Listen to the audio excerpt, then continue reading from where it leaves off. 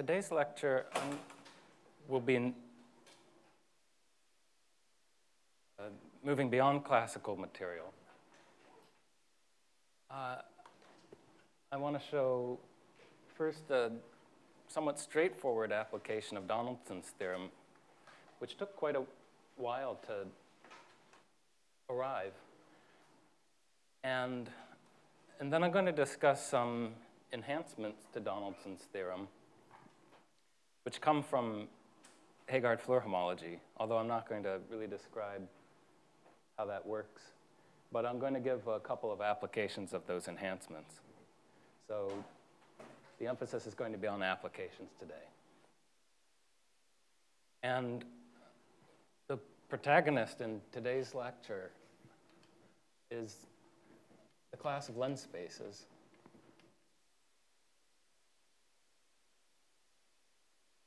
And they're just a great class of examples for uh, the different results I want to, to mention. Um, but in every case, you, you can say more than, more beyond just the case of lens spaces, but somehow they're just perfect. Perfect set of examples to run through this lecture. So by definition, uh, if I have a pair of positive integers, p bigger than q greater than 0, are relatively prime, I can make a lens space. I'm going to denote it this way, LPQ. And this is just going to be defined to be the result of doing P over Q frame Dehn surgery, or P over Q slope Dehn surgery along the unknot. And if the denominator Q is equal to 1, then this is the trace of surgery along a very simple four manifold, something with uh, Betti number, second Betti number 1. And I'm going to be interested in the class of fillings of this lens space uh, when Q is not necessarily equal to 1. So if you know your Kirby calculus, this space is homeomorphic to surgery along this link that I'm writing down. Chain link where I've been lazy about the crossings, where This link is framed by integers.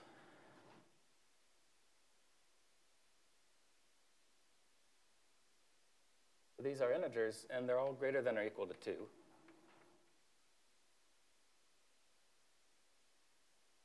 And the relationship between these integers and pair PQ is given by a continued fraction. It's a slightly unusual continued fraction if you've not seen it before. This is the so-called Hirzebruch-Jung continued fraction expansion. And what I do is I take P over Q, and I'm writing it with minus signs, where you might have expected plus signs, which are a little more classical.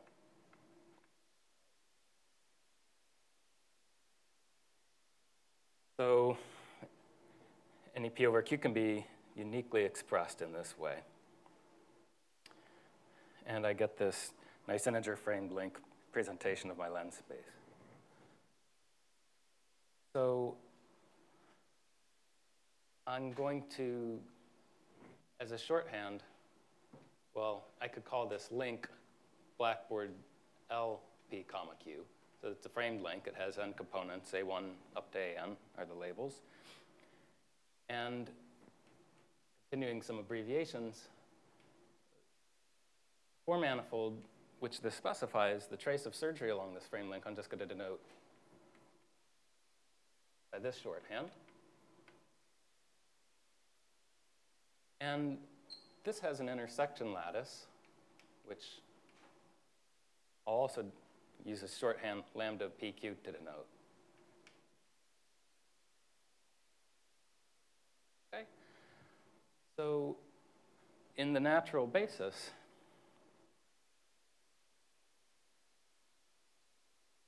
the the matrix which represents the gram matrix for the, the basis that you see described last time. It's just this matrix which records these coefficients on the diagonal, and it has minus ones along the subdiagonal and minus ones along the superdiagonal, and zeros elsewhere. And there's a shorthand for notating a form like this, which looks a lot like the link that I wrote down. I just write down a linear path and I put labels at the vertices in order. And that to me encodes a lattice which is freely generated by n classes whose self-pairings are given by the integers above them, and where two classes will pair zero if they're not joined by an edge, and will pair minus one if they are joined by an edge. So this is kind of a graphic representation.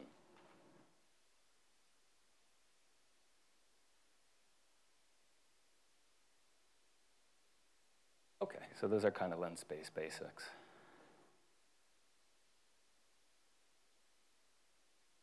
All right. So the application that I want to describe was uh, the theorem of Paolo Lisca. So if you go back to that list of problems from the course description, we knocked off the first two and we're going in order. The third was a question about two bridge knots and, and being smoothly sliced. And I'm, I'm going to use this question I'm about to pose as a stand-in for that. The two are very, very closely related, but you know, in the interest of time, I'm just going to pass over talking about two bridge knots and slice disks. So the reformulation of that question that I want to ask is simply which lens spaces bound rational homology balls? So for which pairs PQ does a lens space LPQ bound a rational homology ball. It's not notation I've used yet, um, but it's, it's equivalent to asking that this is the boundary of a four-manifold W with vanishing second Betti number. Um, and I'm always going to ask these manifolds I'm considering to be smooth. W should be smooth. Okay? I do not care about the fundamental group. Well, if I have a, if I have a four manifold filling a lens space, I don't know anything about B1 necessarily. Well, well, okay, um, I'll, I'll, I'll confuse myself. I'm, but if, if I know that B2 of W is equal to zero, then some long exact sequence will tell me that B1 equals to zero as well. So it's, this, it's equivalent to being a rational homology ball. That answers the question implied by the answer.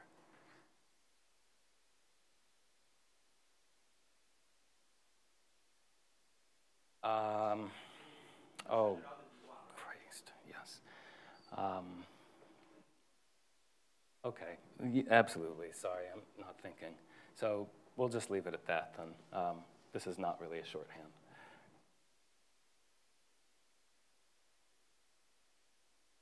Okay, yeah, of course. Yeah, so I made a mistake in asserting that this is the same thing as have, having vanishing second Betti number, a rookie mistake. And the, the, problem is, of course, if I have a lens space that bounds a rational ball, I can always just sum on uh, S1 cross S3 and it'll continue to bound that space, but that thing's Betti number has gone up.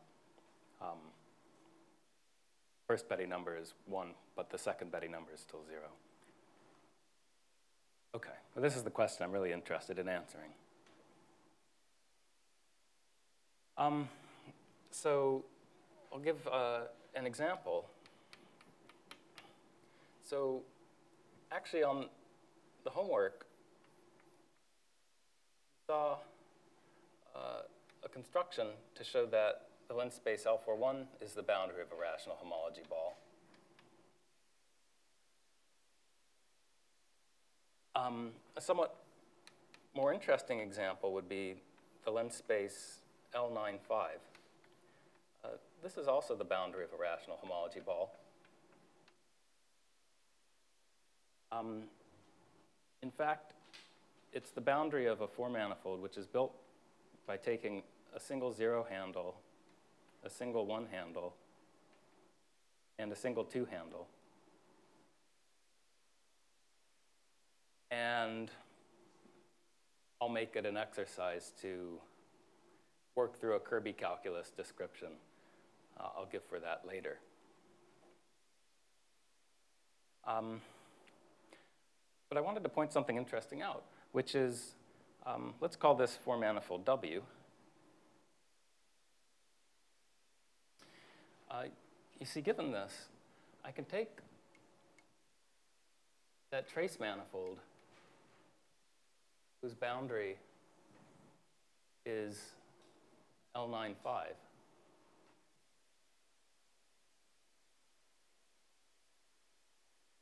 And I can glue it, I can close it up like we did in that example at the end of last class. I can glue it up by plugging on this rational ball. Um, but to actually close it up to something orientable, I'd better reverse the orientation on W. So I can glue the boundaries of these by an orientation reversing diffeomorphism. And this four manifold I've formed, which I'll denote X, is now closed, smooth. Um, it has second Betti number equal to the second Betti number of that trace. And therefore, it inherits positive definiteness from the positive definiteness of this trace.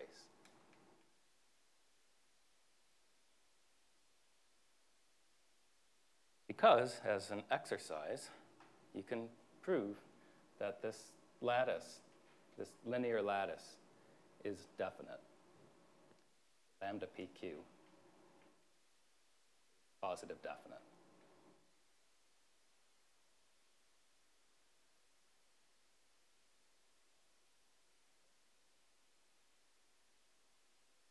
So as a sanity check, uh, the lattice, L95, how do I sort out what that is? I take 9 fifths and I have to write it as a continued fraction. So I think, how many times does 5 go into 9? It goes in once, but I have to overshoot. And I get 2 minus a fifth as my Hirzebruch-Jung continued fraction. So my lattice is graphically represented this way. And again, that means that I have uh, a class X and a class Y whose self-pairings are given by the numbers above them and whose pairing together is minus 1.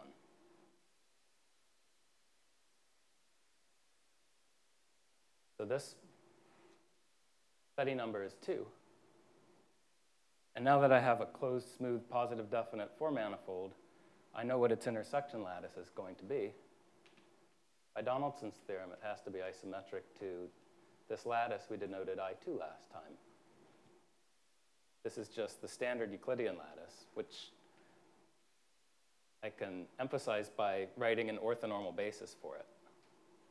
Just like you usually write orthonormal basis vectors, E1 up to En. So what we'd be saying then is that the lattice on this guy must embed into this lattice.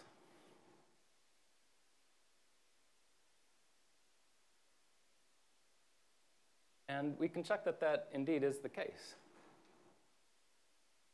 So I could map x to, say, E1 plus E2. And I could map y to, well, does somebody want to help me? I need a class whose self-pairing is 5 and has pairing minus 1 with this class.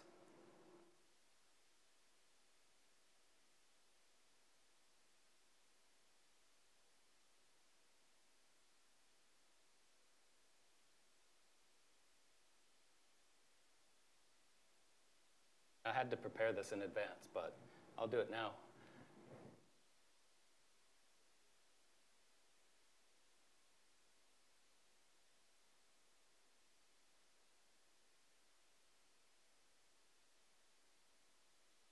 Oh, the, the question is, if I'm, I'm trying to embed this lattice as a sublattice of the standard Euclidean lattice, which I'm going to think of as the integer points I'm about I'm in the process of trying to draw up. And so I know x has to map to an element in this lattice whose self-pairing is 2. And really, up to change of basis, there's a single choice for what x could map to. Yeah, so it's, it's minus E1 plus.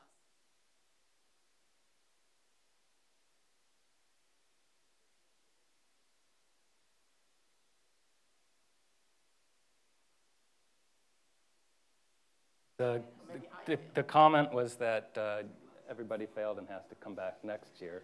Of course, the inner product of these two is plus 1. Not minus 1. Ah. So you just wanted to negate that. That would be the embedding you really wanted. Okay. so I've given myself enough space. So the, the grid points are the points of I2. And I just embedded this lattice.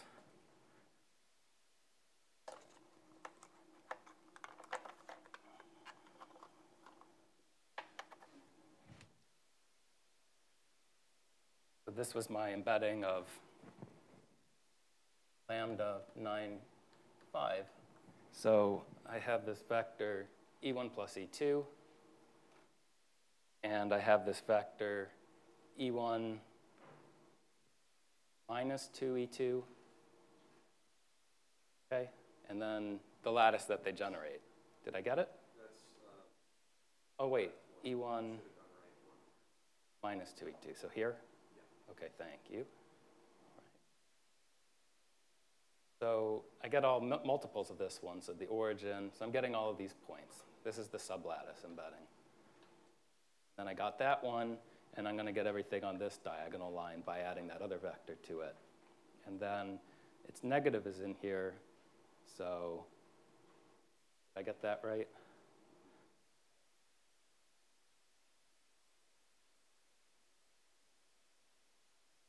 Similarly, another knight move takes me here. And a knight move takes me here. So those would be the points that I get. Um, okay, so that's a kind of a confirmation, a sanity check. This thing ought to embed. Um, a non-example, though, would be the case of 25 13th. I'm going to argue that this is not the boundary of a rational homology ball.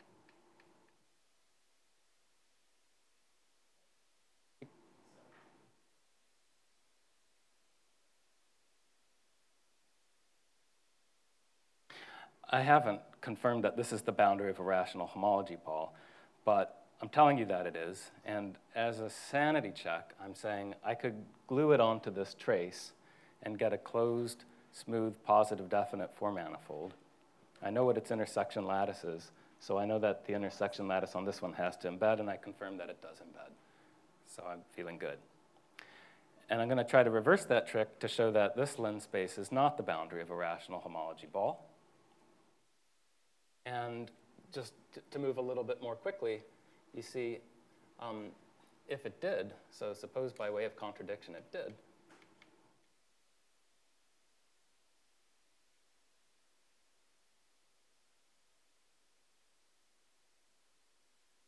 Okay, then I would make this gluing as before. I would take now the trace of 25 thirteenths and glue it onto minus W, and the same story would hold. I'd be getting a closed, smooth, positive, definite four manifold. Well, let's check what the intersection lattice is on this. Um, to do that, I have to write 25 thirteenths as a continued fraction. Um, fortunately, again, it's pretty short. Okay? So if this is, uh, here's my closed, smooth, definite four manifold. By Donaldson's theorem, this is isometric to I2. And so what I'm looking to do is to embed this lattice 213 into this Euclidean lattice. Right. Um, as before, there's really only one choice for where x could map. It has to map to E1 plus E2. But is there any place for y to map?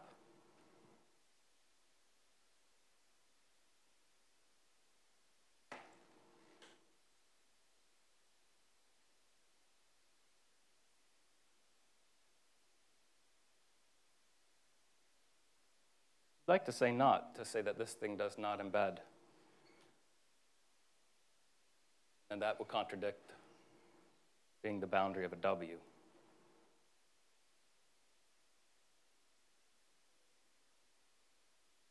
Uh, I believe that's correct. 13 is, the question is, isn't 13 9 plus 4? That's,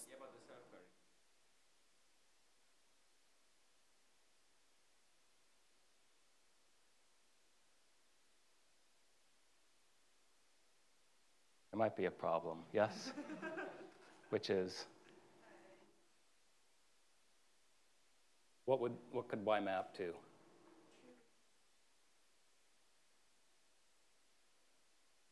Okay. So it's a morning of mistakes. Um,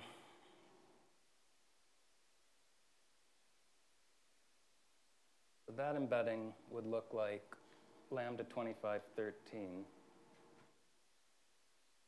I've got the same set of points embedding here, but now 2e1 minus 3e2 is in my lattice. Similarly, minus 2e1 plus 3e2 is in my lattice. I'd be getting these circled points.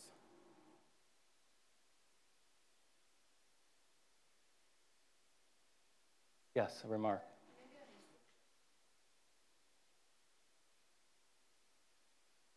Well, I know that x, the question is why does x map to e1 plus e2? I know that x has to map to something in this lattice that has self-pairing 2. And so I'm trying to write 2 as a sum of squares. So it has to be plus minus 1 and plus minus 1. And after changing basis, I could just assume it's like that.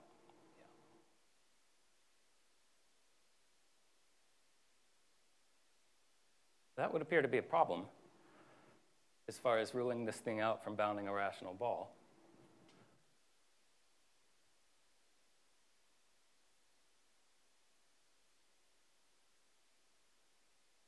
But if I take this lens space and I reverse its orientation, I get another lens space. And all I do is I take the Q and I subtract it from P.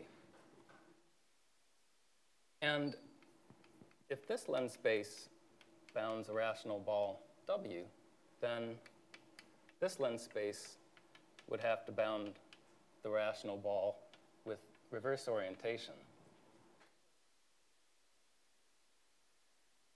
To show this statement, uh, yes, oh, there's the way, is the way to see this. Um, quickly, um, you know, in general, I could add, well, I mean, uh, it's a Kirby calculus exercise. Let me say that really quickly, and then I'll be in better shape to answer it more completely later. So the good news is that I can try to play this game again. So let's instead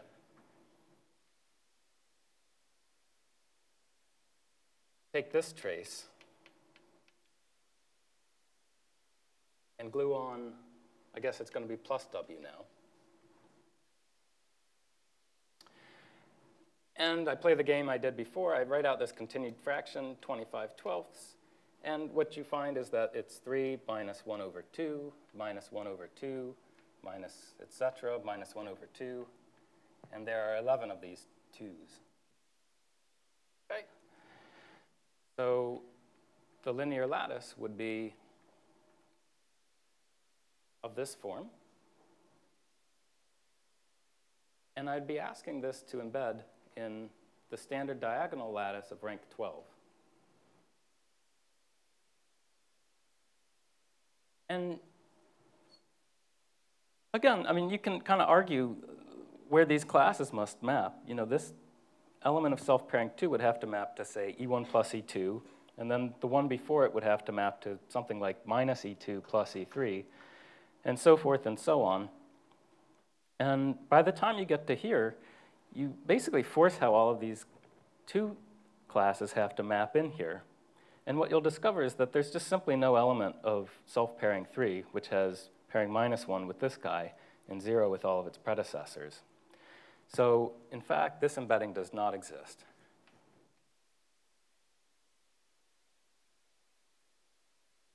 Embedding does not exist. Yes, this is supposed to be I, standard diagonal lattice, rank 12. Okay. Paul.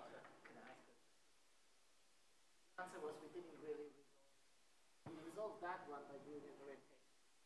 Yes. That shows it. This doesn't work, but If this didn't work to show, to rule out this thing from bounding a rational ball, this approach, but there was a trick to reverse orientation and get a lens space of opposite orientation, which also bounds this nice positive definite trace manifold. And by gluing the opposite rational ball onto it, we got a contradiction. So we concluded then that this does not indeed uh, arise. We cannot, in fact, fill this lens space 2513 by a rational ball.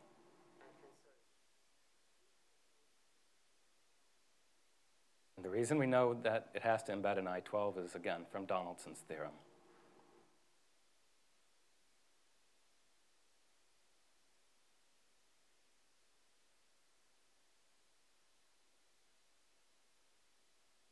Okay.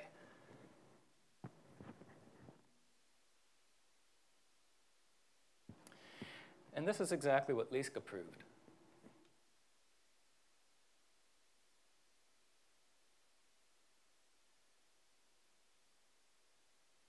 He showed that the lens space LPQ is the boundary of a rational homology ball. If and only if the lattice lambda PQ embeds with full rank into the standard diagonal lattice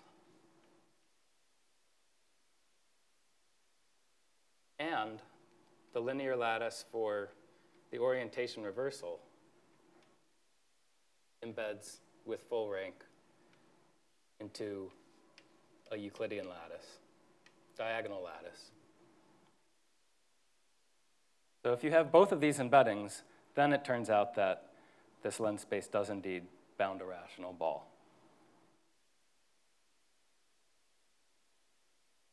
And he further, furthermore, although we're not really going to use it, but he works out the numerical criteria for this to occur. So this happens if and only if there are integers m and k such that p is a perfect square, m squared, and either q or p minus q is one of two forms. So it could look like uh, mk plus 1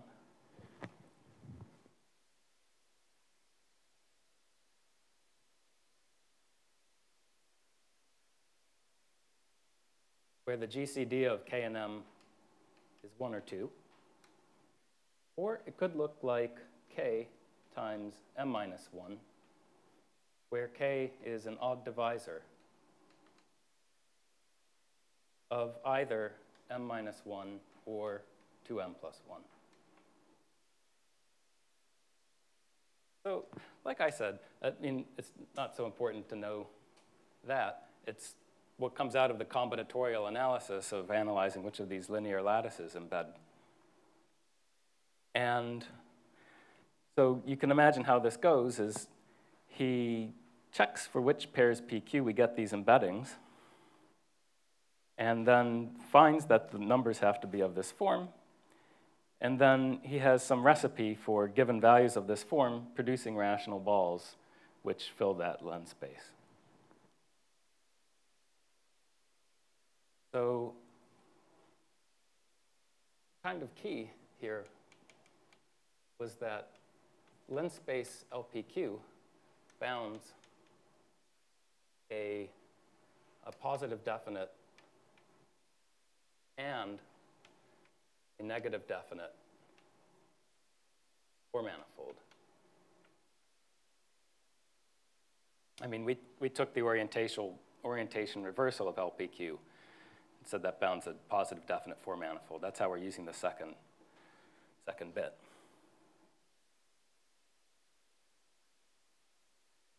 And there are many corollaries to this, surprisingly. So a corollary, which I will put as an exercise, this was a result of Aceto and Larson from a few years ago, uh, is that if you have a lens space and its rational homology cobordant to an integer homology sphere, then in fact, uh, it bounds a rational ball. So its rational homology cobordant to the free sphere.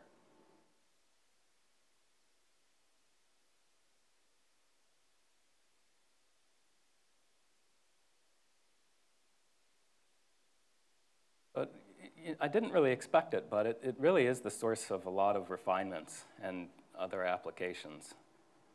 This one, I think, is an especially nice one that you can state quickly and actually figure out a proof of with a hint.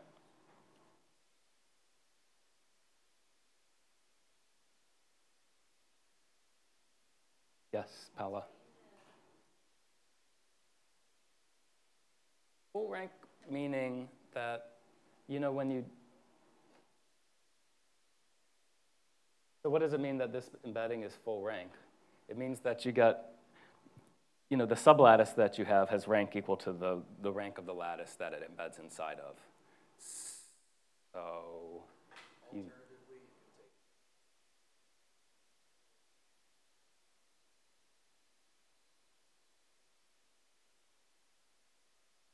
okay. Uh, the remark was you just, N1 is just the rank of this lattice, and N2 is just the rank of this lattice.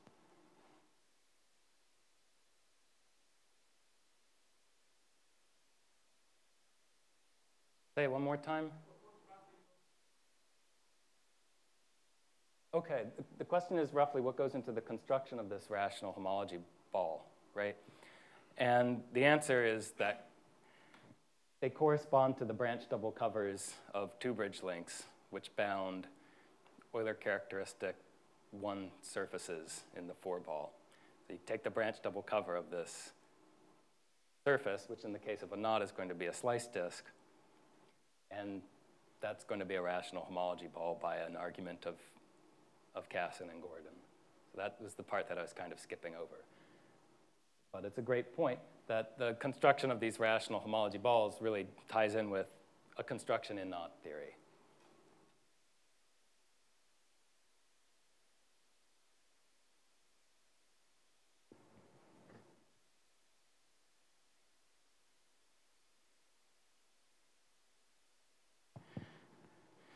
So there's an enhancement of this. Uh, I use this made up word to describe cubiquity. So here's a theorem. Uh, let's suppose I have a free manifold which bounds a rational homology ball. And in addition, it abounds a really nice four manifold. So it's the boundary of a four manifold X, which is not only positive definite, like we've been doing in these examples, but is furthermore sharp. Okay? And I'm not going to say what that is. But this is a condition, I think I'll, I'll describe it in the next lecture, but this is a condition coming from Heegaard-Floer homology. Example would be if X was one of these traces that we're talking about associated to a lens space. Those are examples of not just positive definite four manifolds, but sharp ones as well. Then, the intersection lattice on X has to embed to the diagonal lattice of rank n, where n is the rank of lambda x. That's exactly the obstruction that we've been using, coming from Donaldson's theorem. But something more is true. For any point that I choose, I'll call Q. For any point I choose in this lattice In, I take the unit cube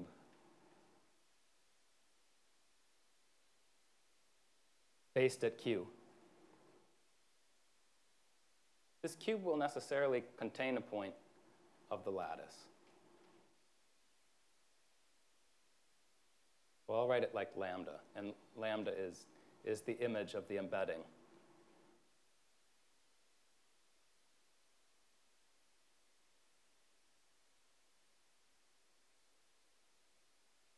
So not only does the lattice embed in this diagonal lattice, but it's relatively dense. It hits every single unit cube with integer coordinates, with integer vertices.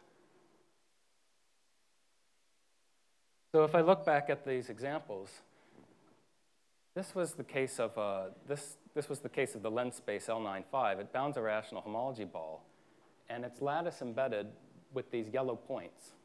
I'll try to shade them in.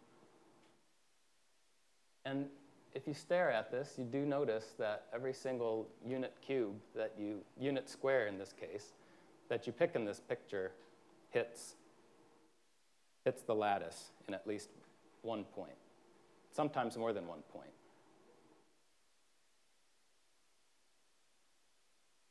On the other hand, for this lattice 2513, there was really just this one embedding up to automorphism. And you notice there are empty squares. Here's an empty square. So it failed to hit that unit square. And so simply on the basis of this embedding, this unique embedding, failing this cubiquity condition, we can rule this lens space out from bounding a rational ball without playing Lisca's trick of looking at the mirror and looking at the orientation reversal.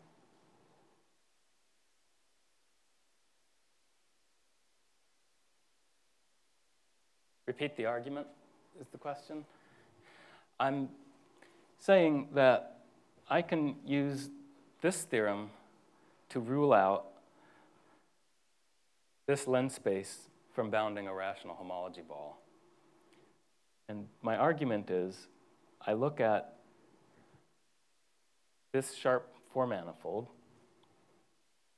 which fills my lens space, and I'm going to argue that it doesn't have an embedding of this kind. And if we go back to our previous analysis, we saw there was really just one embedding of this lattice into I2, up to automorphism. And it looks like this, with the, these are the points you want your eye to draw attention to. So there's really just this one embedding. Uh, but it fails the, this cube condition. Here's a cube that doesn't contain any point of that sublattice.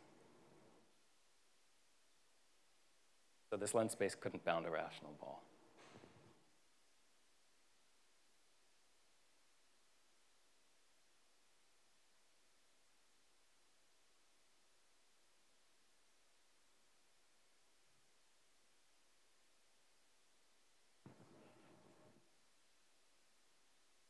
It's a bit of an odd condition. I don't know why you would ever come up with this condition uh, before having this application for low-dimensional topology. It just kind of comes out naturally from Donaldson's theorem in tandem with some more information coming from, from Heegaard-Floer homology.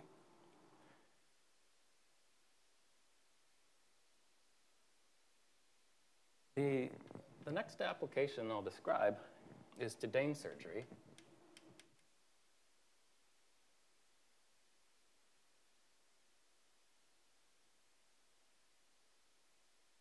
And again, I'll let lens spaces play uh, the protagonist here. So the question I want to ask here is, which knots in the three sphere have a Dehn surgery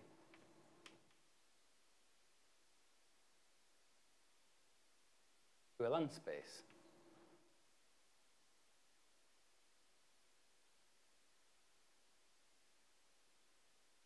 Okay. Well, obviously the unknot does because that was how we generated the class of lens spaces. Any of these are lens spaces.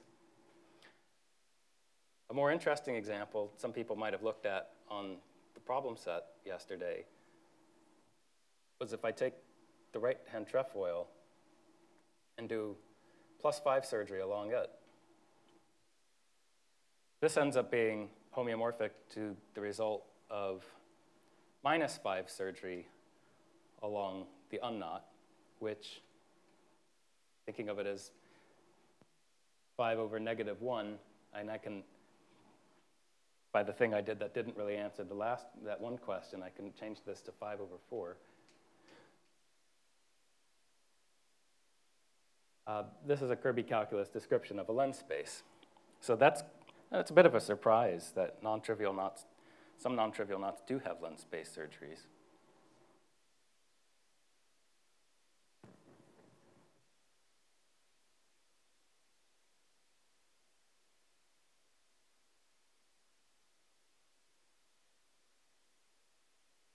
And uh, actually, all torus knots, torus knots have lens space surgeries. All torus knots do.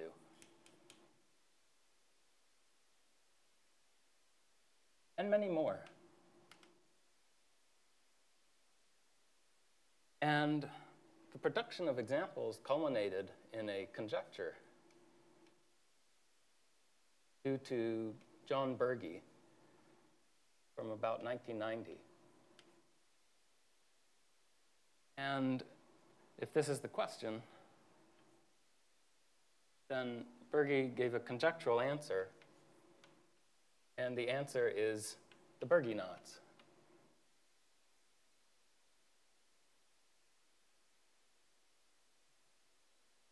Which have a more intrinsic description. Uh, Berge knots, by a little theorem, are the same thing as so-called doubly primitive knots. Uh, suffice it to say, it's, it's a pretty exceptional class of knots. So these are knots that you can draw on the boundary of a genus 2 Heegaard splitting, you know, the standardly embedded genus 2 handle body in the three sphere, they're knots that you can draw on that in a particular way so that the knot included into the handle body in the inside or the handle body on the outside, this knot represents a primitive element of the fundamental group. So it's a primitive element. Hence, they're called doubly primitive, inside and out. It's not so important you know what that is. But he made a very influential conjecture, which is still open. And another piece of information I'd like you to know is that um, torus knots have lens space surgeries, but it's a major theorem that if K is a knot and it has a lens space surgery, and K is not equal to a torus knot, then the surgery that you do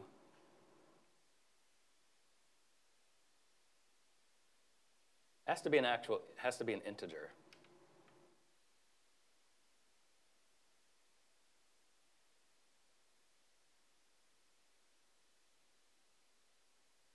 This is a consequence of the famous cyclic surgery theorem of, of Culler, Gordon, Luecke, and Shalen. Yes?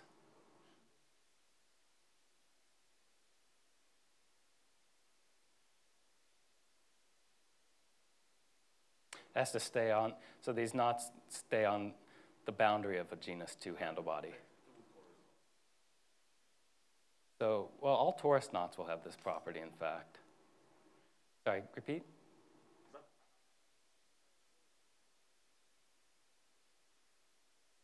They're knots which can be drawn, the doubly primitive knots, Berge knots, are knots which can be drawn on this genus 2 Heegaard surface, but there's an additional condition I haven't told you. Or I, I did, but not well.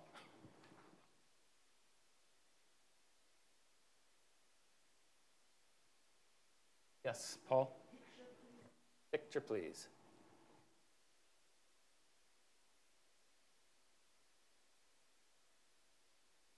So the idea is that I have a lens space now,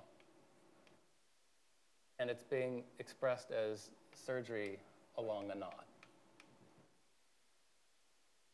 So you could think of this as the boundary of the trace of surgery along this knot. So the picture that I would draw would be the trace of surgery along some putative knot. whose boundary is this lens space LPQ.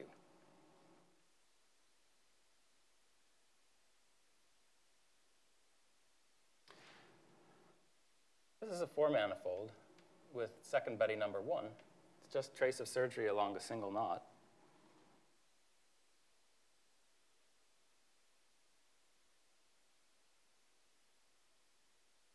Ah, okay. The picture we want is a picture of uh, Berge knot. So Berge's from Wisconsin.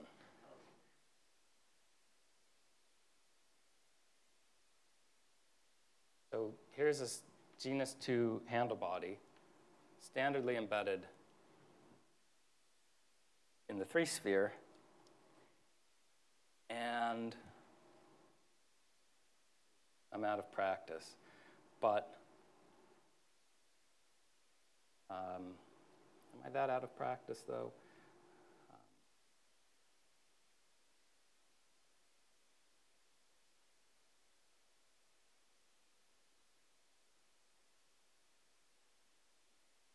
So imagine these, these strands run around here in a, kind of like a cable of a torus knot.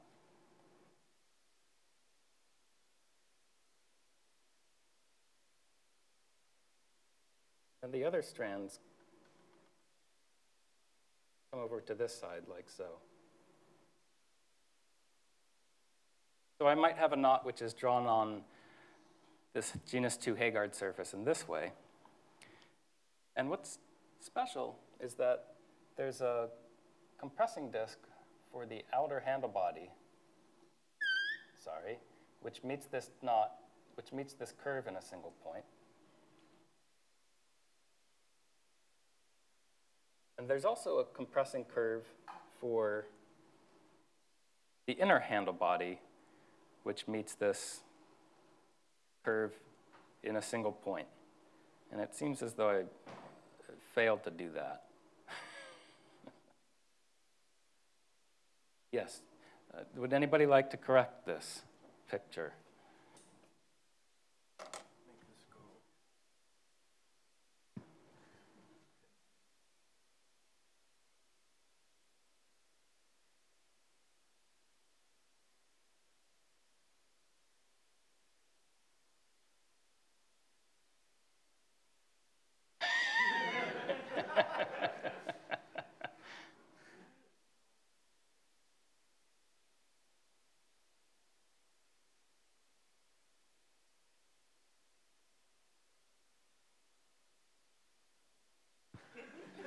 See? Not as easy as it looks. Not as easy as it looks. Um, any loop on this surface which happens to cross a compressing disk for the outer handle body in a single point, and which happens to also cross some cutting disk for the inner handle body in a single point. Just one disk. One disk for the outside and some other disk for the inside. As long as you can find those special disks, that gives you a doubly primitive knot. Yeah. So, sorry.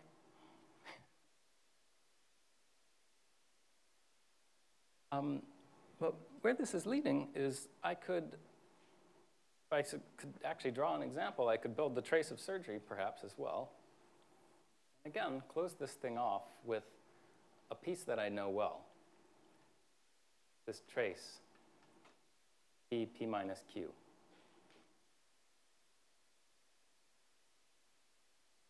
So what I'm writing here is I'm supposing that my lens space is a knot surgery.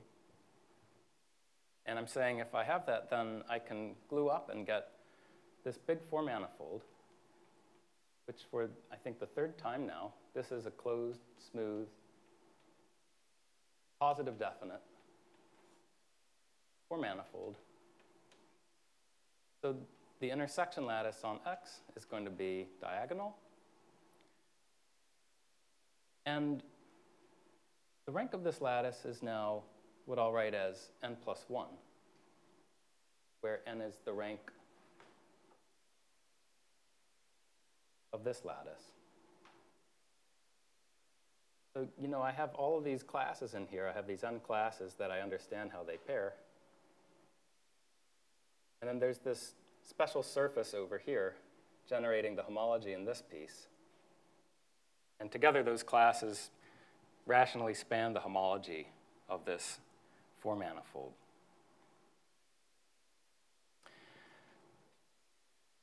So what I learned then is that the lattice lambda p, p minus q, must embed to this diagonal lattice, and its orthogonal complement is one dimensional.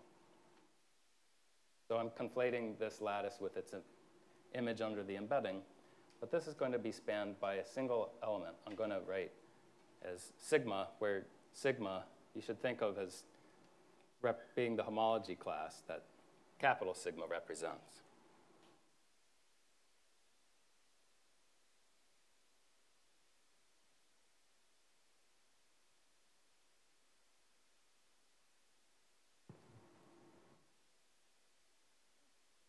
So an example would be, we saw that L5,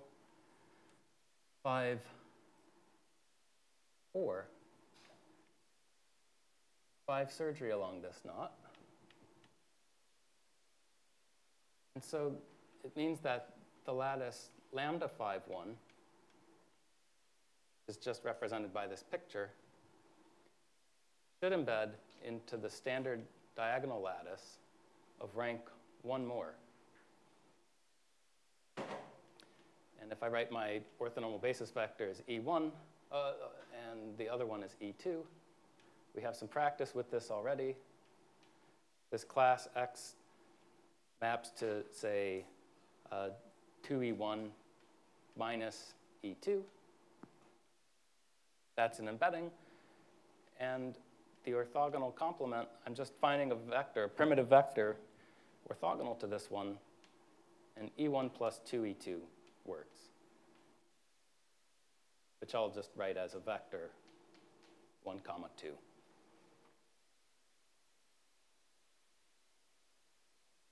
Uh, another example would be L33 2.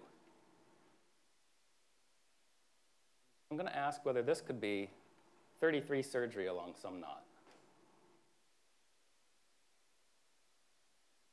Well, if so, let me change this to um, 31. If so, then lambda of 33, 2, I have to do my continued fraction expansion. I'm going to get this lattice, because it's 17 minus a half is 33 halves. But this would have to embed in the diagonal lattice of rank 3, which is spanned by some classes, say E1, E2, and E3. And now back to the audience. Is it possible for me to map in classes X and Y to this lattice with those pairings?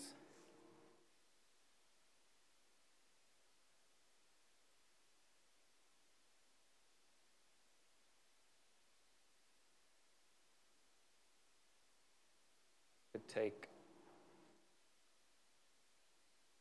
say again? 4 E1 minus E2. And this one could be E2 plus minus E3.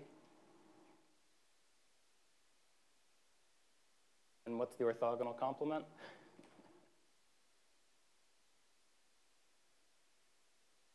E1 plus 4E2 plus 4E3, which in vector notation is 1, 4, 4.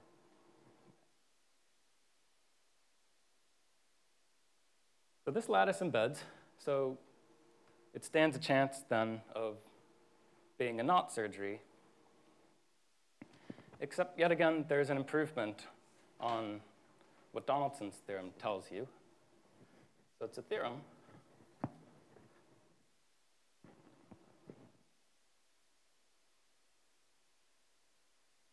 Lens space is a knot surgery then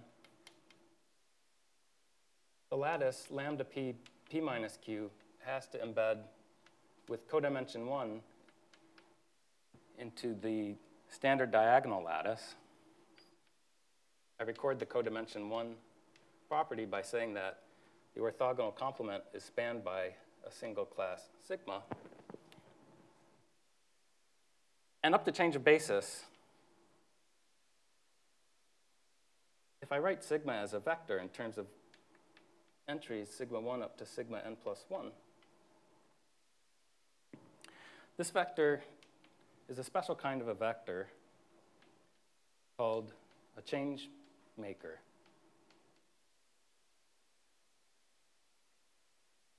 And again, this is a condition that I don't know why you would have studied apart from it popping out of some Donaldson Heegaard Floer magic. But what this means is you, since we're out of time, you could do a demonstration, but you're to imagine these as, as values of coins. So imagine these as values as coin of, as values of coins.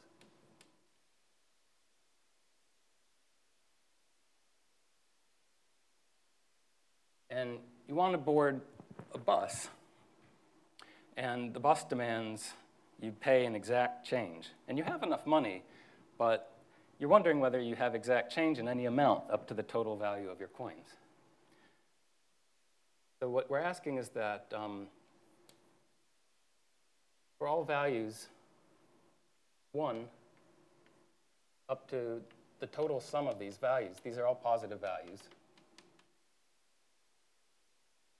I can make exact change in that amount. So there exists a subset such that if I just add up my coins indexed by the elements of that subset, I get that amount. That's the fee to board the bus.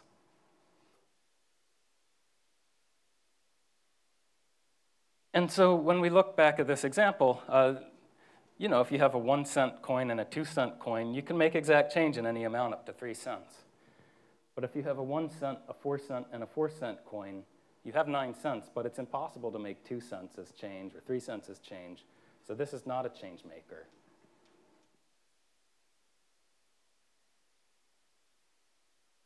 So that forbids this lens space from being a knot surgery. And since we're over time, I'll, I'll wrap up the conclusion next time, but long story short, this is a necessary and sufficient condition for lens spaces to arise by, by knot surgery, so that gives some evidence for, for the Berge conjecture. I'll put some polish on it next time. Thank you.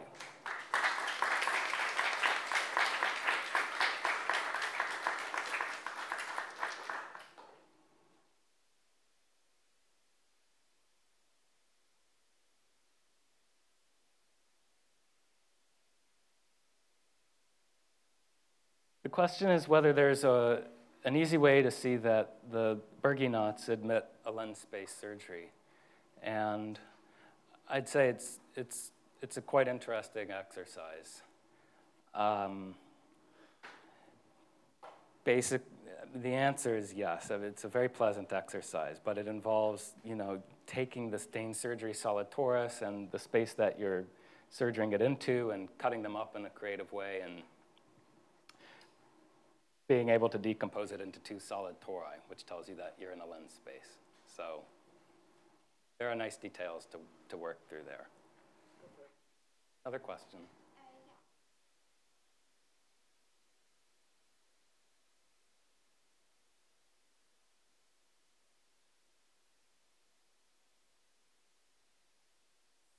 You should look for a paper I wrote with Slaven. Oh, I'm sorry. So the question had to do with um, where to learn about cubiquity.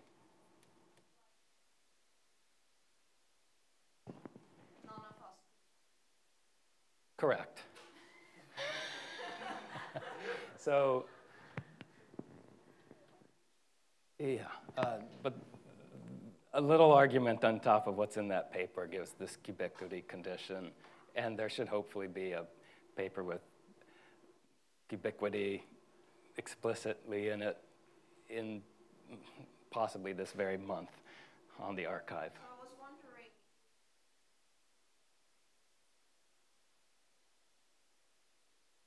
That is also. Uh, the question is whether you, this changemaker condition is anywhere. And yes, this is in a paper uh, from 2012 or 13. Um, I bet if you Googled my name and changemaker, you'd okay it.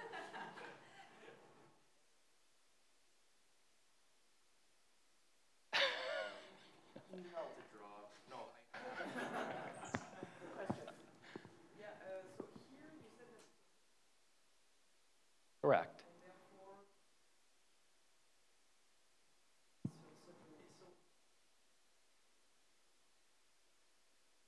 Different embedding. Okay, so to answer the question, uh, to, repeat the question, that's what I was going to do. Uh, the, the, question is, how, how did we actually show that this lens space is not equal to 33 surgery along some knot? Because what we did was we wrote down one embedding, and we checked that the orthogonal complement's not a change maker. But that doesn't say there couldn't have been some other embedding of this where the orthogonal complement actually is a change maker. And that's just, a, you know, there are only so many possibilities you can really check. I mean, y has self-pairing too, so it really has to look like a vector like that. And there are only, I think you end up finding that that's really the only possibility for x can map. So no, we didn't complete the argument, but we just did.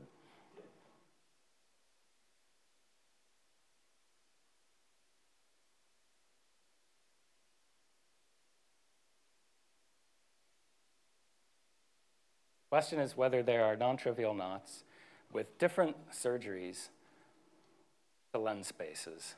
And the short answer is yes. Um, in fact, all torus knots have that property. The PQ torus knot has the property that P times Q plus or minus 1 gives a lens space.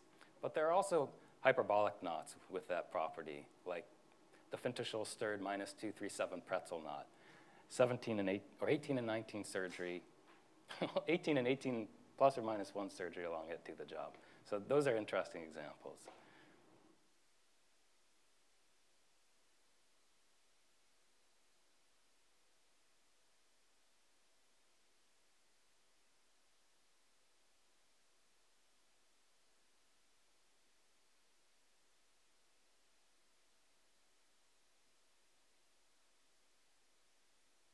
Zero, one, and two, yes. Zero, one.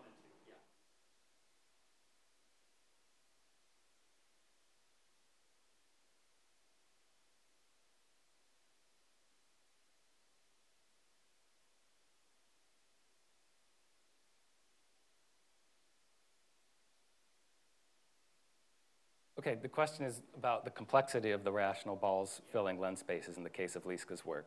And the answer is yes. With a, a careful reading, first done by Jake Rasmussen, you can confirm that all of his lens spaces bound a rational ball built from a single zero, one, and two handle. I mean, it's really direct, it's in that paper, but to think of it that way, I, I learned from, from him. So that's an entry into a very fascinating question, which is complexity of rational ball fillings. And so anytime a lens space bounds a rational ball, it bounds this one with the simplest handle decomposition you could come, you could have. The the the.